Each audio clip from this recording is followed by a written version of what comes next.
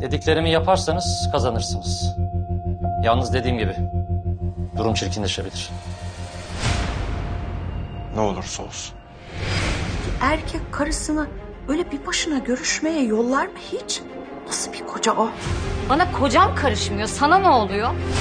Böyle küçük şeyler büyük olaylar yaratır ya hani kelebek etkisi gibi. Bir şey rica edeceğim. Annemi üzme olur mu?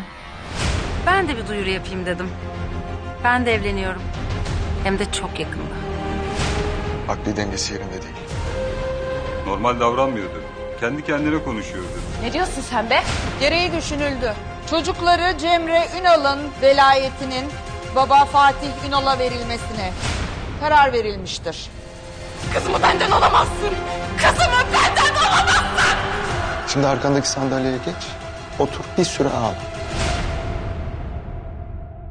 Kızılcık Şerbeti yeni bölümüyle Cuma Show TV'de.